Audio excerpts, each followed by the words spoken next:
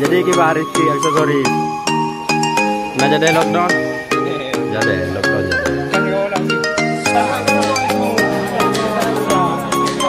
Tidur kok, biar kita betul tidur kok. Kenyan ke.